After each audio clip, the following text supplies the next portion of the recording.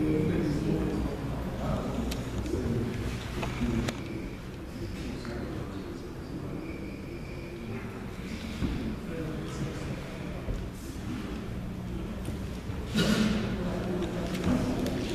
morning. The our IT, are we, there?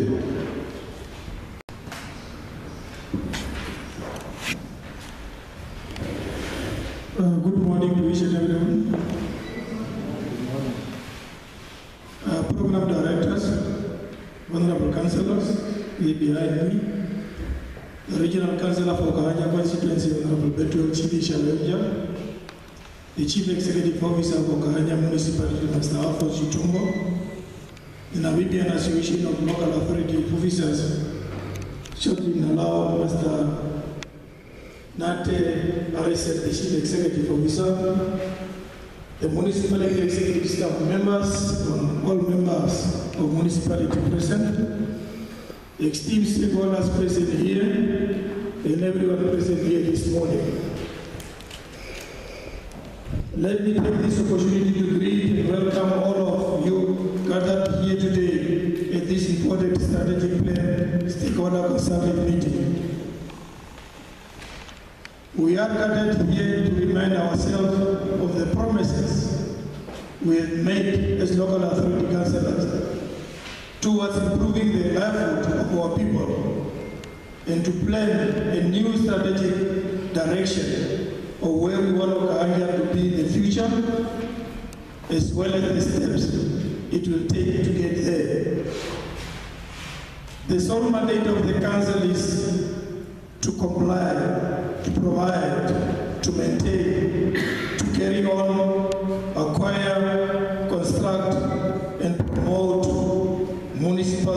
adjacent to the provision of the Local Authority Act, Act 23 of 1992 as amended.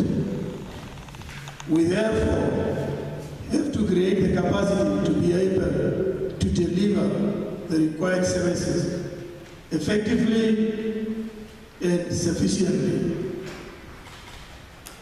The very fact that we are all here together, we should be an indication of our community commitment and dedication towards the betterment and upgrading of our beautiful garden town.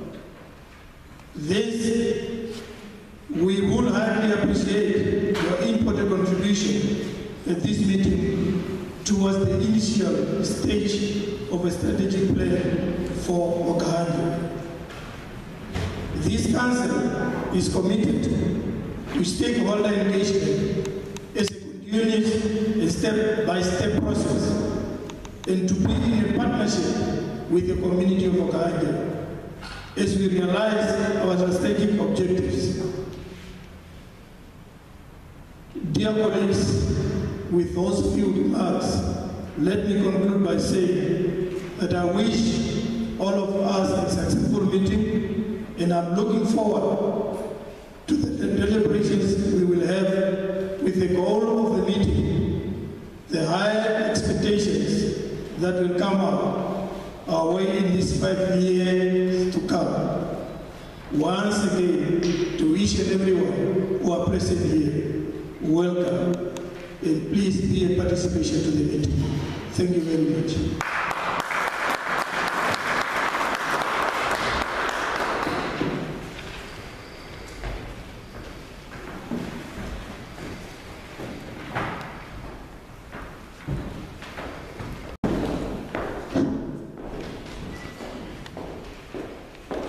the program director, honorable councillors, regional council for Okahandja constituency, honorable Petro Challenger, members, member of the regional council,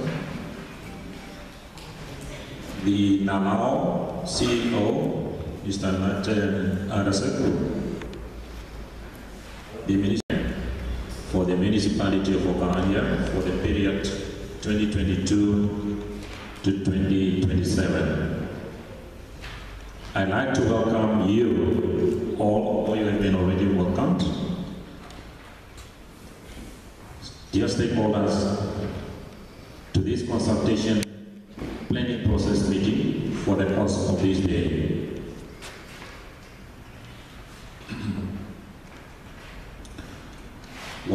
By strategy?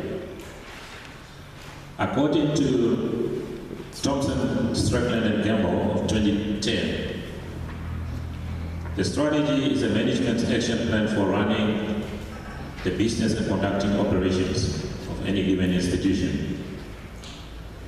The crafting of a strategy represents a managerial commitment to pursue a particular set of action to improve council's financial performance and ultimately to improve our services to the Okahandja residents and other stakeholders. This workshop or meeting will mark the beginning of crafting our strategic plan for the council and our wish is to be successful within this new competitive world. If it is not regional, local, or international. During this meeting, we will develop a clear picture or vision of what the council will look like if it is so be successful in the next five years' time. To develop a clear picture of our council today as a legal entity, to develop specific projects what we need to do in the next few months while making preparations towards crafting our five-year plan, strategic plan, to move from where we are today towards our vision. Let, ladies and gentlemen, let me start by stating that there is a difference between operational and strategic thinking. Operational thinking involves focusing on what is happening in the short term inside the institution, which is the council or the municipality of Okahandja. However, developing a powerful strategic plan that will involve focusing on what is happening outside of the council, external environment, the scanning of the external environment, and building a competitive advantage for a long-term future I know that you may not be comfortable with this way of thinking. However, it is crucial that we are going to focus on long-term future at this workshop. This is a wonderful opportunity to learn from people of all walks of life. So let us engage each other. I believe that by working together as a team, I am confident that we will be able to solve the challenges facing the council being the municipality of Okahandja. It is important that we focus on the challenges which we are going to identify in order for the strategic objective to solve those challenges. In conclusion, Mr. Nate from NALAO, the gentleman over there, he will assist the council in the process of crafting the strategic plan, which will mainly focus on the infrastructure master plan studies recommendations to address the sewer collection and treatment plants, the solid waste management, the urban roads network and stormwater, the bulk water supply and potable water reticulation, and indeed the electrical network.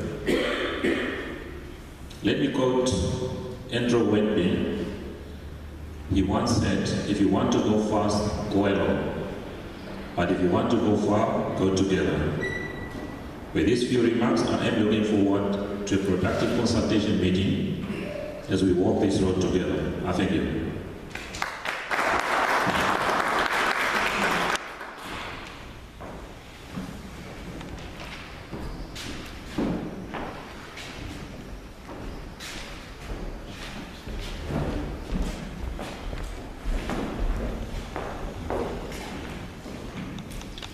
Thank you, Mr. Alphonse Mutombo, the Chief Executive Officer. Can we give him another round of applause, please? Let me use this opportunity also to extend our At times when you have to let go of things, of of the past and focus on the future. So I think this is a moment for, for Okahandja to really make a decision to move forward. I usually prefer to explain my role in this process by way of this story. And the councillors and the staff know the story, so they should not break my story. it is a story of a farmer, I understand, here in the Okahandja region, and he was farming with cattle, but due to drought and all of the challenges that farmers face, uh, by the time he was about to graduate to glory, uh, he only had 17 cattle left. So we'll have to work together because this is the way that we'll be working throughout this process in a participatory way. So he had 17 cattle left at the end of his, at the end of his life. By the time he, had, he, he died, he had three sons. He had three sons, and in his will, he directed as follows. The inheritance was to be divided as follows. The firstborn son would get half. The secondborn would get one third. And the lastborn would get one ninth. That was what the old man decided, and he wrote it down in his will uh, as that. So after, when he died, uh, the boys were really scratching their heads and wondering what is half of 17? What is one third of 17? So for days they were arguing. And, you know, the younger, younger one was, you know, already a town boy and he was saying, Neman, the old man was not proclaiming here, so why don't we just sell the cattle? Maybe if we have the cash, it might be a bit easier to make the division. So they were arguing for days. Uh, the older one was feeling like, you know, we cannot just, ou man se erfenis net so water. We cannot just let go of the legacy of the old man. So they went on. And then one day, as they were grazing and having that intense discussion, an older man also passed by there with his own cattle. So he came closer and he asked them, guys, what is, what is the issue? Why are you intensely discussing? What is it that you are talking about? So they said, one, our old man put us in serious trouble. Now he only had 17 cattle left by the time he died, and he directed like half for the firstborn, one third for the secondborn, and one ninth. So the old man thought for a moment, and then he said, Okay, here's what I'm going to do. I'm going to give you one of my cattle. So gave them one, so let's work together now. 17 plus 1, 18, we agree on that. Half of 18 is 9, we all agree. One third of 18.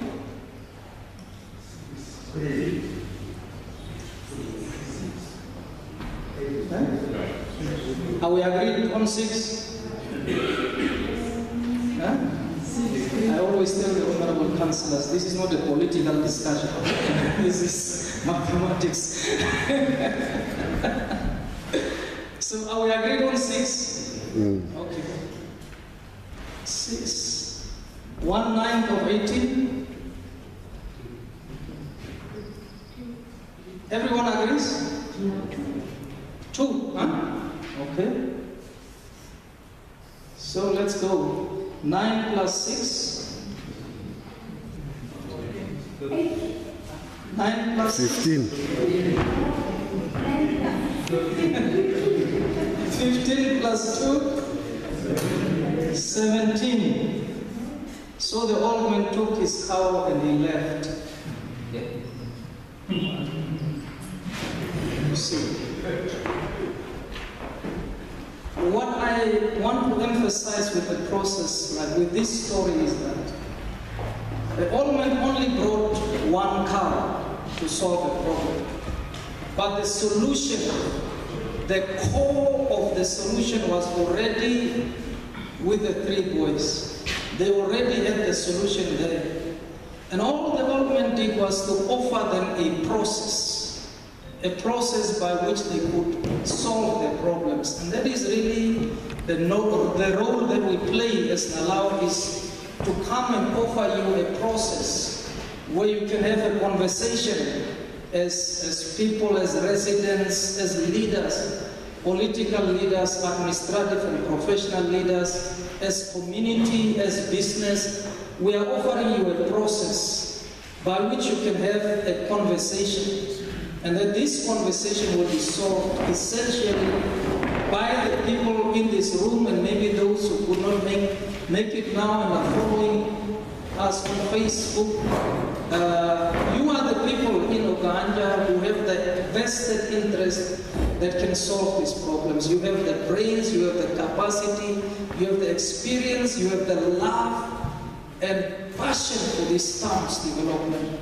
So we believe that's, that's our, our belief is more in the people of the town, that they have everything that is needed to take this town to the next level. That is what we believe, that is why we are here uh, to support you in this process, maybe to ask some of the questions that you might not feel comfortable to ask one another, uh, to facilitate those conversations that maybe because of structures, because of history, you have not been able to have that conversation. So we come to, to facilitate a conversation.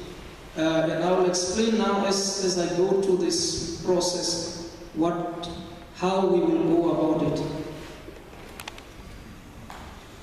Just this thing out of the way, and we can proceed.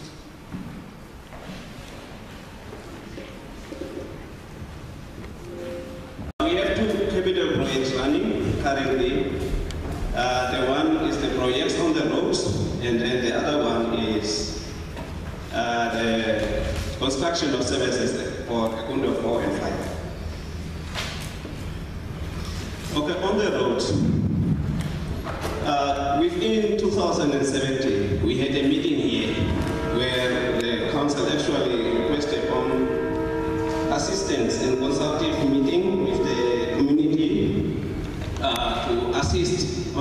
construction of the roads. So within that meeting, uh, request was made from the council from, for assistance from the community to assist with the uh, uh, construction of the road. So there, uh, a meeting was held uh, with Dunamis Consultants, constructed then by RFA, together with Colas, and uh, uh, together with Colas and Lewcor, Lewcor, Lewcor, yes. So, on that day when we had the meeting here, uh, Lewcor actually decided from their side what they will contribute is to their equipment, machinery or kind. So, and then Lewcor, uh, uh, Colas gave actually a good price on the material that they had due to the fact that they are from Okahandja. So with that, this project started, and then it was this works on the road was divided into three phases, whereby the first phase was done from 2018 to 2019, second phase from 2019 to 2020, and the third phase was from 2020 up to 2021. So this project actually included the whole it was 10 point, yeah, 10 kilometers of road that was rev and repaired. This means now the road consists of three layers, subgrade, subbase, and the base course. So due to the fact that the service, the uh, bitumen, the top layer, the, the servicing of the was too old, uh, the water actually percolated through uh, the servicing and then the base course in most of the areas of the town was limited. So decision was made to actually wrap the first layer, the base course, 150 millimeters, and transported the old material or new material was transported in, and with this, actually 10 kilometers of road was repaired from 2017 up to last year August. So last year, uh, the RFA contribution was uh, 2 point, uh, 2.6 million. 2.6 million. Now, the, the phases from phase 1 up to phase 3, the cost was almost uh, 12.6 million. So, the last amount was 1.7 million from the 12 million that was claimed last year, August, during August, and that was not the amount, this amount that was claimed from that one, and the remaining amount was this. So this amount again was then used uh, for patching of potholes. This is now the road that goes from Matisei, where the railroad crossing is. From there up to Pittsburgh, from Pittsburgh up to the Circle Service Station, and the portion was again down the entrance to Ferristal, almost 80, 80 meters uh, was pet and recycled with 18 millimeters long. And then the portion again from Pittsburgh that goes up to Nares. That part was also petted and slurried. So those are actually the, the works that was done from 2017 up to now. Okay, and the current budget, uh, what is it, budget amount from RFA is 2.8 million that will be used now for this financial year. Okay, then we proceed to Ekunde servicing of Ekunde 4 and 5. The ministry, uh, the, budgeted fund from the ministry was 6 million. And from this amount, 4 million was claimed last year. And this included now, this included the excavation works from Ekunde, uh, from Oshetu number 3 up to Ekunde, and then uh, one standpipe was actually provided there to uh, give provision of water to that uh, settlement there. And this year, uh, 9 point, uh, 903, 937,000 was claimed again from the ministry, and this was not for the material. This is not the material. Uh, the pipes that needs to be used from Ekunde 4 and 5 up to the ponds. This includes now the, the main sewer line that transport the effluent from Oshetu number 3 into up to the ponds.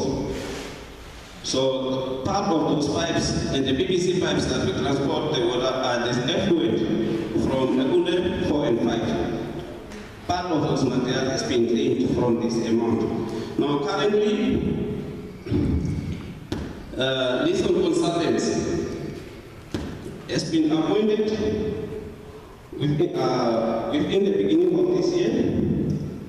I think it was beginning of January that Listen Consultants were appointed, and they are actually to do the documentation, design, and supervision of the works uh, at Ekunde 4 and 4, uh, 4 and 5.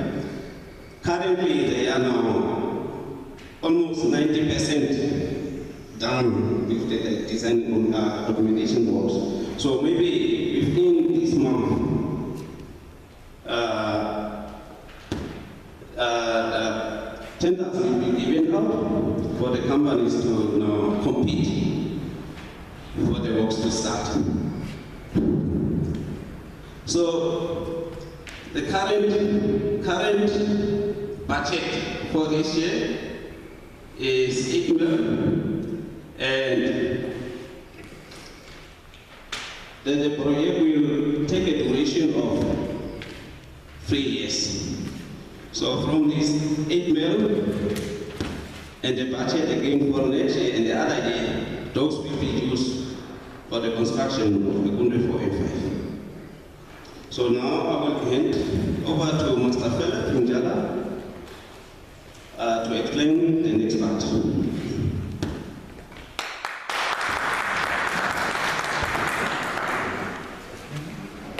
Manager, manager for town planning. What is happening?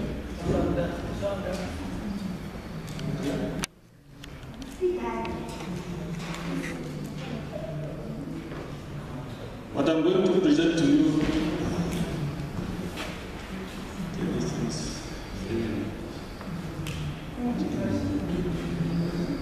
Okay, what I'm going to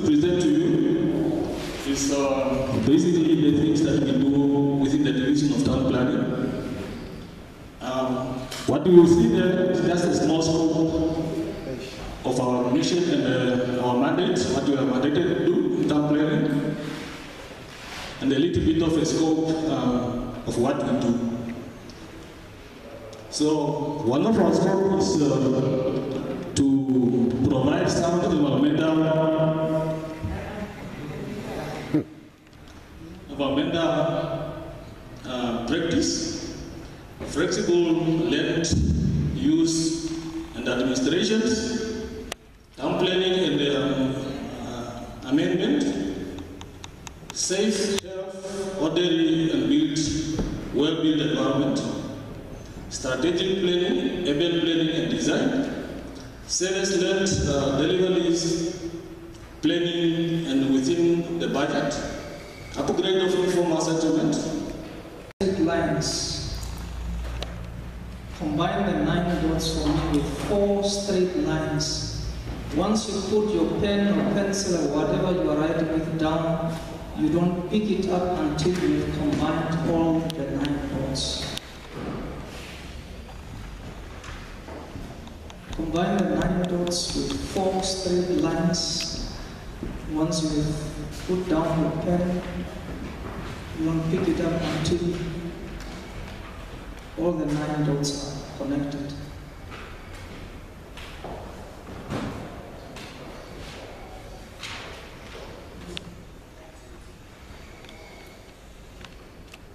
Writing down.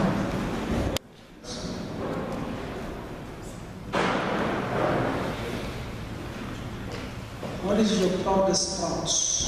What are the things that goes well in this town? We want to hear that first. Pero está llena.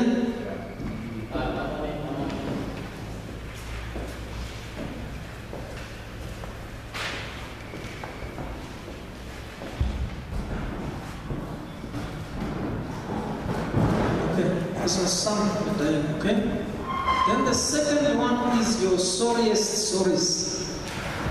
Daar is die goede wat jou laat wakker lê, wat jou laat wonder, hier kom daar verandering in hierdie area. What are your sorriest stories? Those things that bothers you, that causes you not to sleep well about Okahandja. In other words, what we are asking you here is what needs to change for Okahandja to become the town that you will remain proud of. Have the discussion in your group. What lie you? What is it that bothers you? What are your concerns? And then once you have that discussion, you summarize that for me, and you are coming up with three lists. Out of that comes these three things. What does Okahandja need to stop doing? What we need to start doing? And what we need to continue doing? Stop doing, that the done, start doing this, or change this? What, what are the things that needs to change in this town to take that, this town back to its former glory as the proud garden town of Namibia? What needs to start happening? What needs to stop happening? What needs to be continued. So these are the two discussions that we have in the first round of group discussions. I think there is, we have one stand, but we have, I think there's additional paper there. Uh, so the groups can come and take paper, there are pens. Um, let's just